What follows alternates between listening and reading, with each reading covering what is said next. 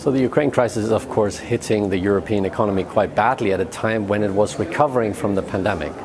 But we already had relatively high inflation, and now the Ukraine crisis, as we've seen from the numbers yesterday, is adding massively to inflation and putting a big strain on household budgets. And of course, if household budgets are strained, then consumption will suffer and sort of the recovery is delayed.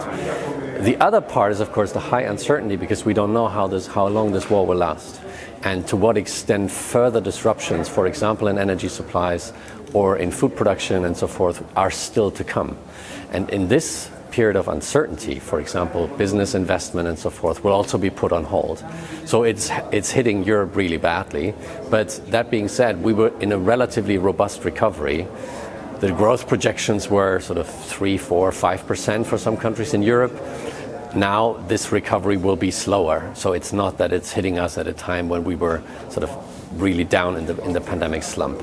So there's, there's some upside. But of course, the main thing is that this war ends.